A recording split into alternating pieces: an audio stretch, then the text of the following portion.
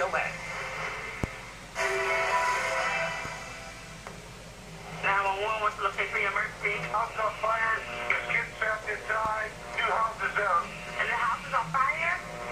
Yeah, everybody's trapped inside. We now know that life inside the home at 1079 Pointer Ridge was not always as idyllic as many friends and neighbors assumed.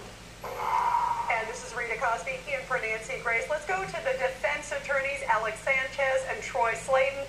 Alex Sanchez, you just heard from William Morrone, the forensic pathologist, talking about the type of injury somebody would have if they were running into a house, especially if their family were inside. We're talking about the wife and the two daughters that are inside, two young daughters that are upstairs. He knows they're up there, and yet very minor injuries. Again, he is not a suspect. Right now, authorities are saying no one is a target, no one's been charged. But Alex, interesting points. Come on, there's some eyebrows that you got to go. Wait a minute, this doesn't quite fit. There's something interesting here.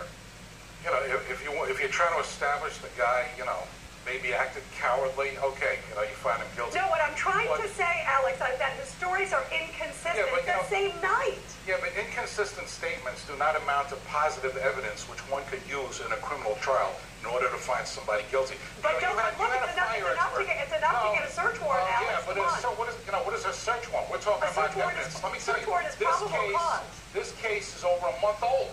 So how come in a month they haven't determined if there's been accelerants or other forensic evidence to link him to some type of criminal activity? But When Alex, to Alex, you say- are a smart No, defense attorney. when- Don't you think something interesting about a guy? Don't you think you know if you were in the house, not in the house? Don't you think you know what time it happened?